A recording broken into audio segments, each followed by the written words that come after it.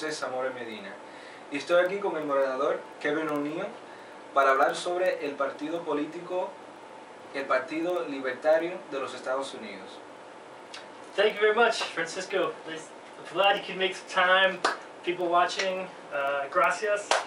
Uh, very little Espanol, um, so bear, bear with me. I'm Kevin O'Neill. I'm the communications chair for the Libertarian Party here in Hillsborough County.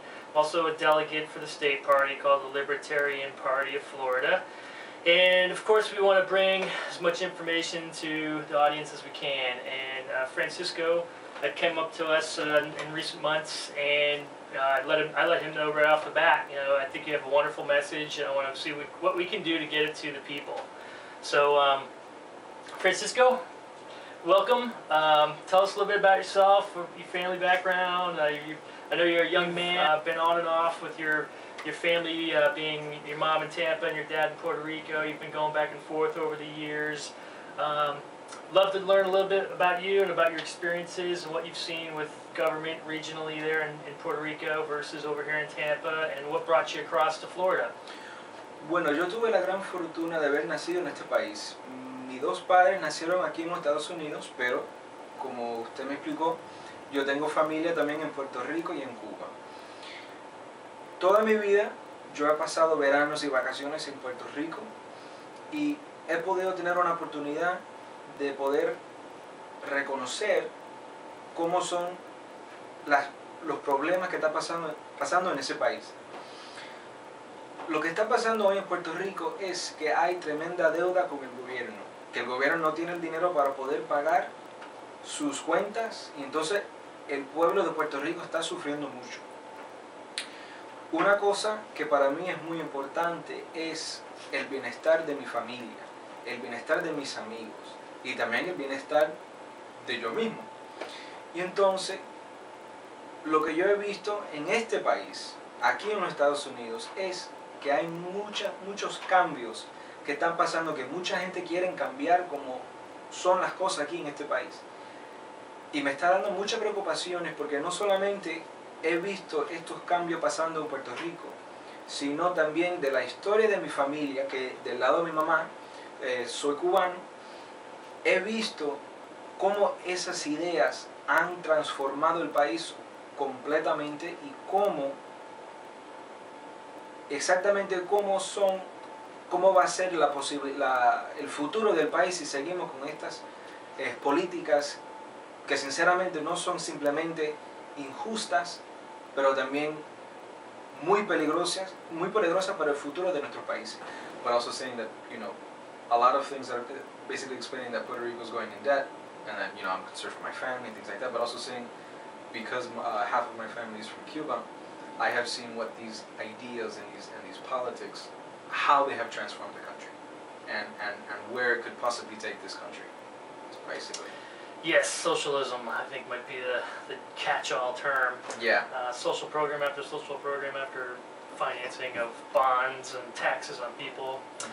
Beautiful. So, um, Puerto Rico, I understand uh, you, you, you've been tr- tracking their political um, uh, operations down there, how the people in charge of the politics and the government have been treating the people.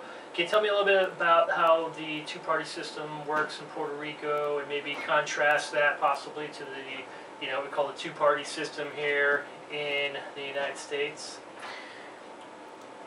En Puerto Rico hay tres partidos políticos, pero, lo, pero hay dos que son más grandes que el, que el tercer partido.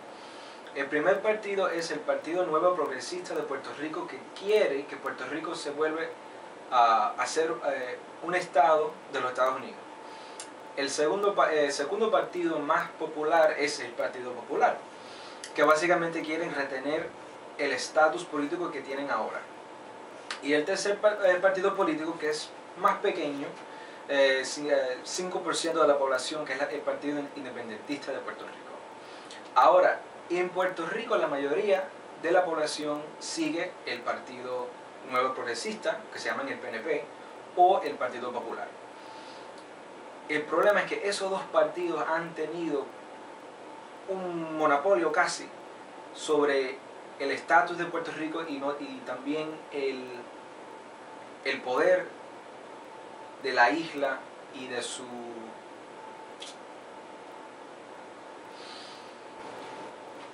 los dos partidos más grandes, el Partido Nuevo Progresista y el Partido, Democra eh, el Partido Popular, ellos tienen un control sobre las políticas enteras de la isla, que eres popular o eres PNP. El problema con ese sistema es que ellos, en mi opinión, trabajan juntos para mantener el poder de ellos mismos. No se trata nada de ayudar al país, no se trata nada de mejorar a Puerto Rico, sino a promover sus intereses personales de los políticos. Y para mí eso es algo muy peligroso y eso es lo que estamos viendo hoy día en Puerto Rico. Aquí en los Estados Unidos también existe la misma situación que Kevin va a, a seguir a, a, que Kevin va, va, a explicar and then basically you're going to explain basically the, the or introducing the two party system here basically. You want me to talk about that on our end?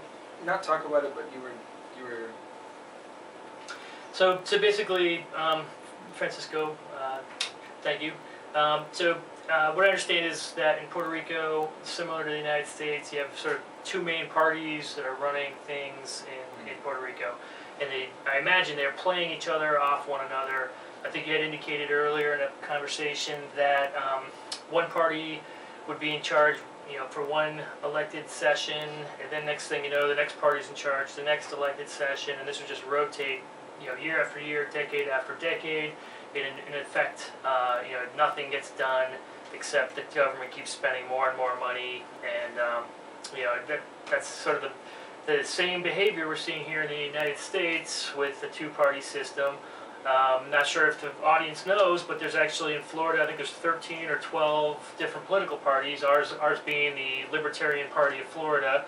There's also a National Libertarian Party, and um, you know, we've run presidential candidates. Uh, uh, Gary Johnson was the two-term governor in New Mexico, a state here, and uh, he was running for president over the last session.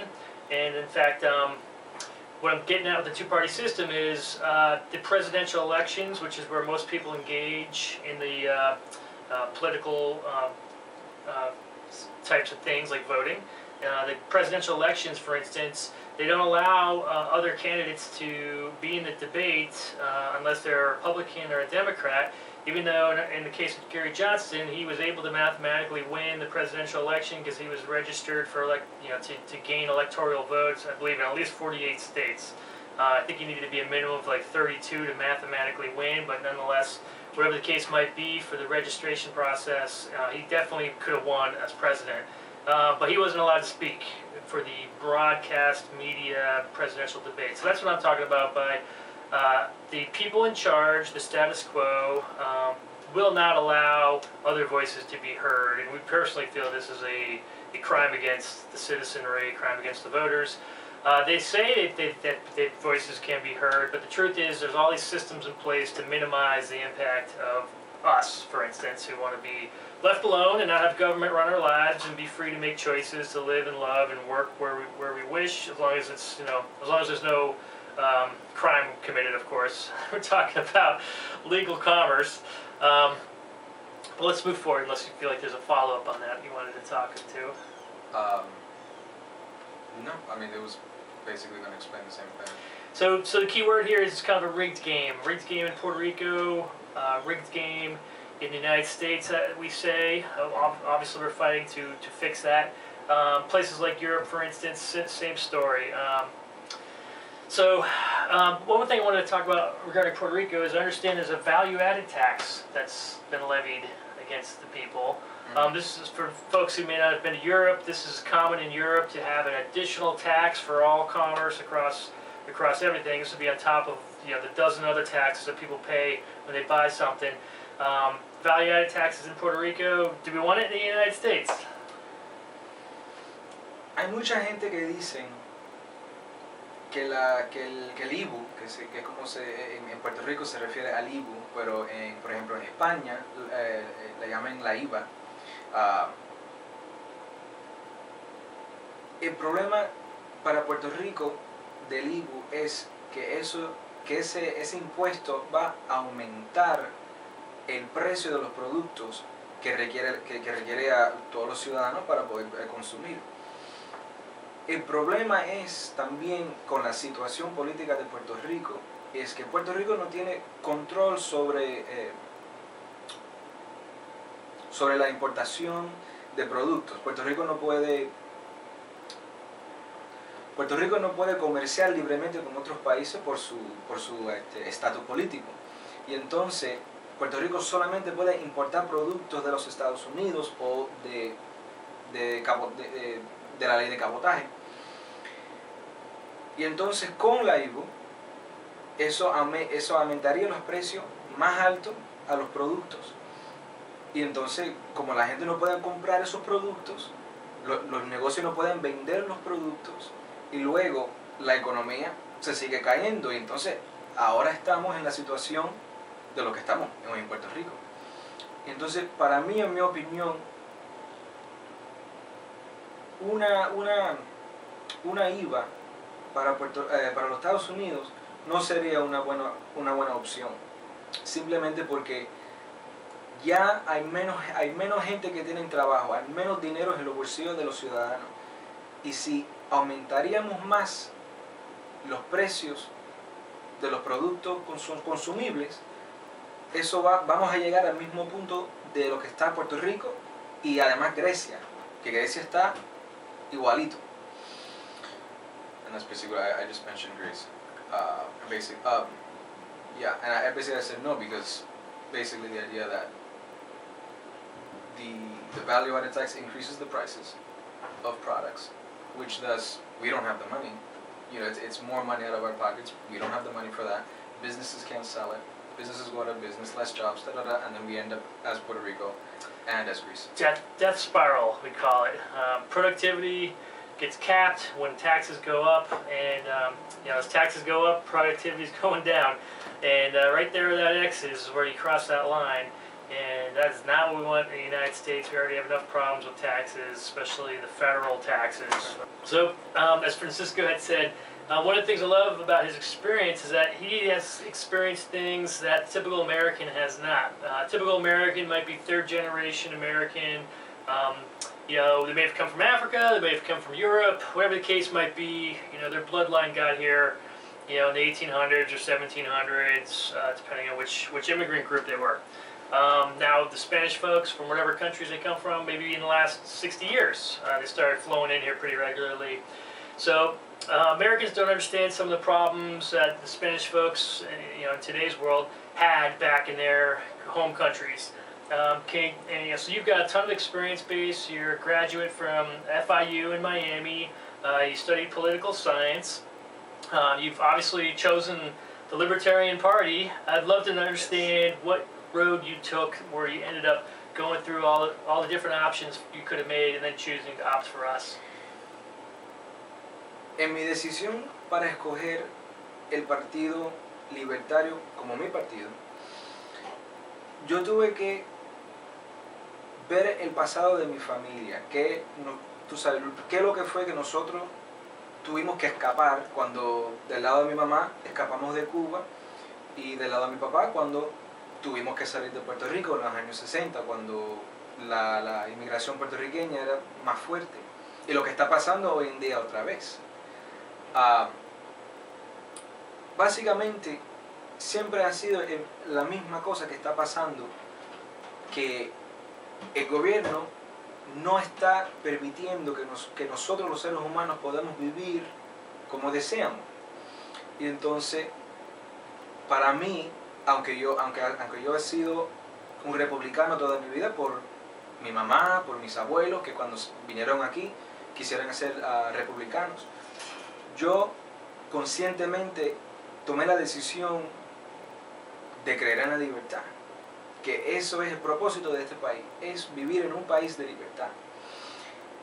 Entonces, ya cuando, cuando, cuando tomé la decisión de, ser eh, libertario, tomé la decisión porque yo conscientemente no puedo votar republicano o demócrata, porque para mí esos partidos no representan el ideal de la libertad que existe en este país, que, que fue la razón por la fundación de este país. Y mucha gente de, otro, de otra parte del mundo vienen a este país por oportunidad. No necesariamente por la libertad, pero sino porque hay trabajo, porque hay dinero, uh, pero es la, la, oportunidad que quieren los inmigrantes. Lo que los inmigrantes no entienden es que sin libertad uno no puede tener oportunidad. Y entonces para mí el partido, eh, el partido Libertario es el único partido, en mi opinión, que sinceramente y, y, y por 100% estoy confiado que este partido es el único partido que respeta la libertad, que logra la libertad como se tiene que, como se tiene que lograr. Y. And that's it. I'm sorry. You're fine. Um, uh, que, tenemos que lograr. Y, es el único partido que quiere lograr la libertad no solamente para unos pocos o, o, o, o por unos privilegiados, sino libertad igualitaria para todo el mundo. Todo el mundo en los Estados Unidos merece los mismos derechos, los, eh, las mismas oportunidades que cualquier otra persona. Pero eso se, eso se basa 100% por la libertad. Y, eso, y ser libre no es simplemente tener derechos, sino de ser libre del control y de las regulaciones del gobierno. That's basically that part. So, um, so you basically you may have a concern that this whatever you whatever uh, you saw going down in Puerto Rico for political establishment, and maybe some of these other countries like Mexico or, or somewhere in the Caribbean, um, Ecuador possibly. Um, last thing you want to see is us duplicating it here in the United States. Do you see do you see signs of duplication already happening, or do you see do you see the existing Florida legislature or the county government or the city government, um, you know, showing similarities to what you were seeing in Puerto Rico? No solamente Puerto Rico, sino también en el resto de Latinoamérica. La cosa que hay que entender es que Latinoamérica no tiene una tradición de libertad. Desde el principio de, de las colonias españolas en América, siempre ha sido el gobierno español y la Iglesia Católica que han, que han controlado todo, la vida social, la vida económica, la vida política. Y entonces la, la tradición de libertad no es algo tan fuerte que lo que era aquí en este país, aquí en los Estados Unidos.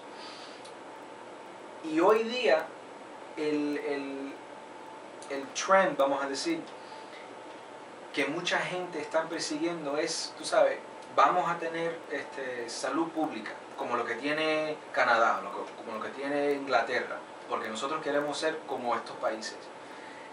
Y entonces estamos con, tenemos una cultura que queremos duplicar lo que está pasando afuera, sino enfocándonos a los principios fundamentales que hizo este país. Y entonces, lo que está pasando ahora es que la oportunidad se está perdiendo. Y estamos siendo más y más y más como los países de afuera.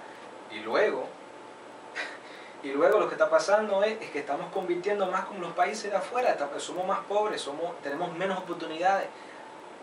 Y eso es lo que pasa cuando nosotros movamos de la, eh, movemos de la libertad y, movemos hacia el socialismo. Y eso es, eso es una de las cosas más peligrosas que puede pasar, porque si seguimos en este camino, vamos a terminar como Puerto Rico y Grecia.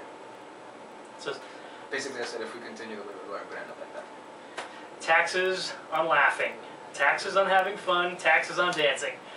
Uh, God help us. Um, so, so for the folks who, who may have uh, you know just learned about the Libertarian Party, I'll, I'll give you a little background.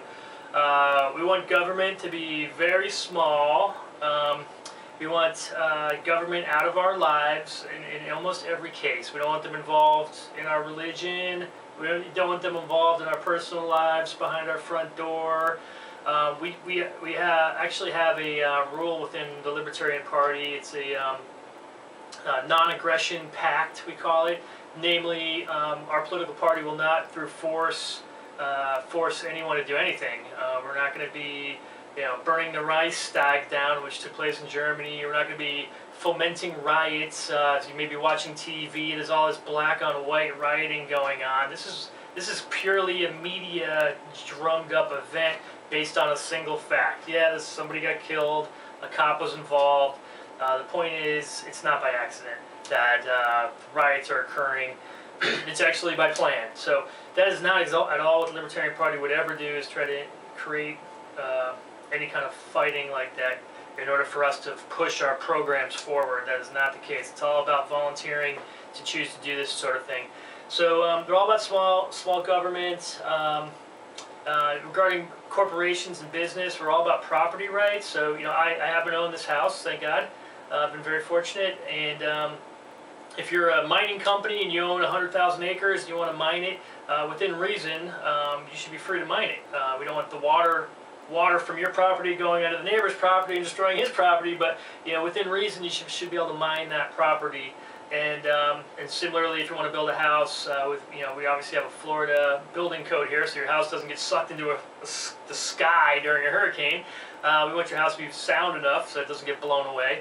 Uh, but but within reason, you should be able to build your house. And uh, right now we have federal uh, federal laws that are deciding where water boundaries are and where you can put your home. And we're just completely, know, it's, it's coming to a point where if you own real property, you almost don't even own real property because somebody else is controlling it. This is the type of thing the Libertarian Party fights to prevent. And um, we obviously need as much assistance as we can to uh, succeed. So. Um, you joined our party. You have any, any advice for uh, the you know, people watching this now about what, what they might choose to do with their vote?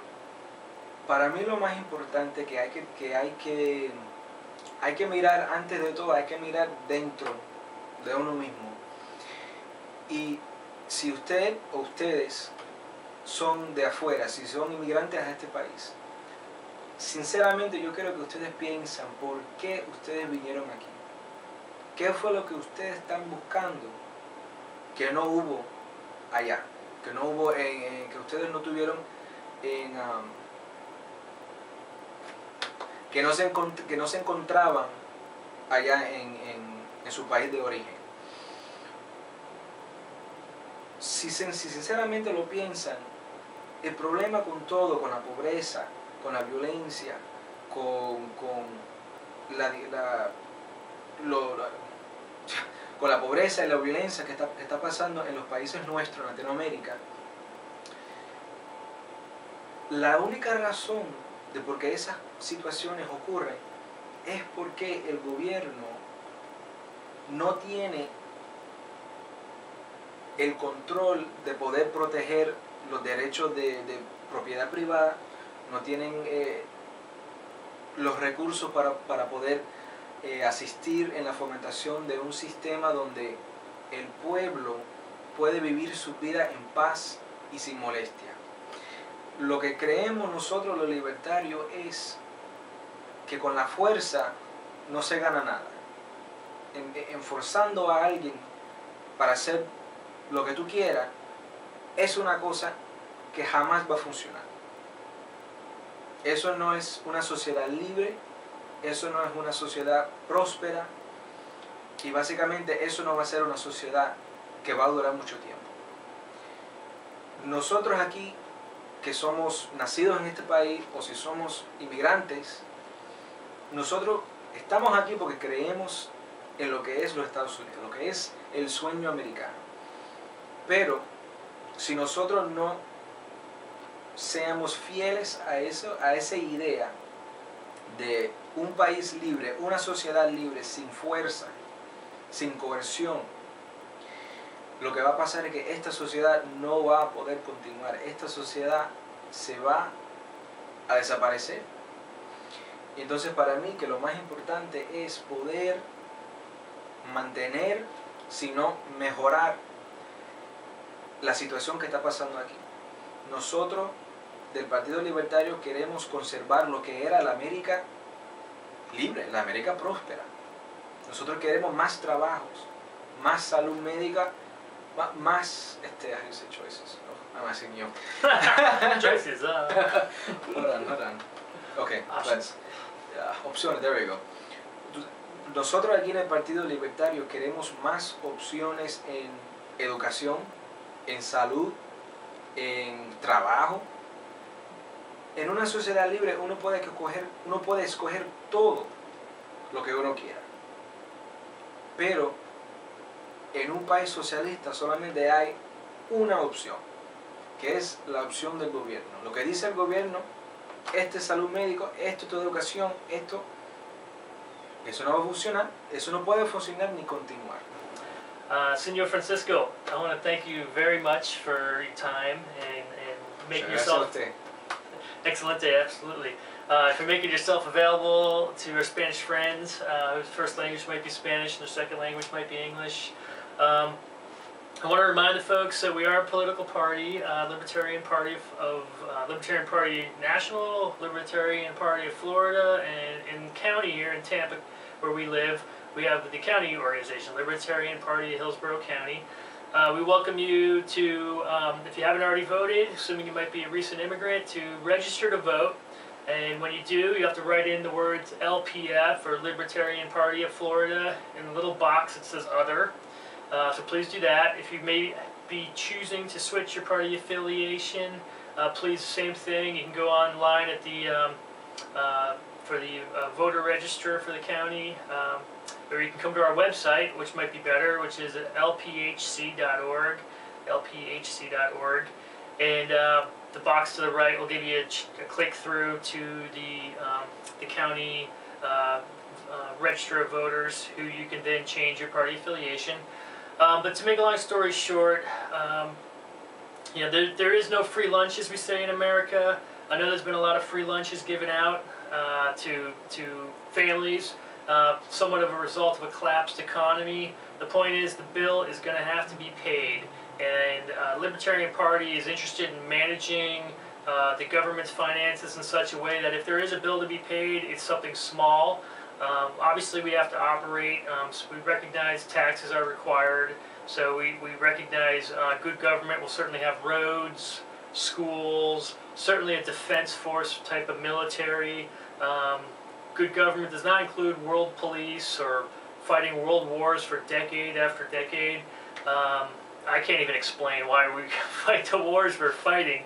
Uh, um, uh, so we're all we're all focused here in the Libertarian Party about getting the government out of our lives and allowing government to do their basic necessities. You know, keeping markets free, uh, keeping people from becoming victimized by scam artists, of course. Uh, certainly, uh, there would have to be a justice system because there are real criminals doing real crimes. So uh, we are definitely in support of bringing people to justice. Uh, but uh, right now, um, there has to be a turn back from what we have today. It's, it's completely bloated. Uh, it's completely out of control. Um, we're probably breaking a law right now that we don't even know about because our federal government creates like 10,000 laws a year. Uh, that's sort of the point of the Libertarian Party is we need to make this a sane uh, government system. Our people are going to do it. Uh, when we find candidates to run for office, um, certainly the party will have some type of role or at least uh, an acknowledgement about the candidate. And of course, um, you know, in al- almost all cases, the libertarian candidate's going to want to reduce government and possibly, you know, close offices, close bureaucracies, close um, authorities. There's all sorts of taxing authorities. Uh, channel side taxing authority is one, for instance. The football stadium is another taxing authority. Um, I, one could argue if we need a football stadium. I happen to like football. I'm not sure I want to pay for it. Can't there be a capitalist capitalist involved who wants to put a new football stadium in or a new railroad or what have you? Um, anyway, so thank you guys for your time. Uh, you can come find us. We have a general membership meeting every month, uh, second Wednesday of the month. Uh, you can find us on YouTube, which you already have. And uh, uh, we also have a Meetup system, Meetup website. Uh, you can find us on Meetup. That way we can send emails to you to communicate when our next event's going to be. And like we're doing now, we, we definitely have um, a regular series of interviews and expert presentations going on. So um, vote for us, join our party, and stay in touch. Muchas gracias, saludos a ustedes. Mucho gracias, absolutely. Thank you very much, Senor Francisco. Thank you guys.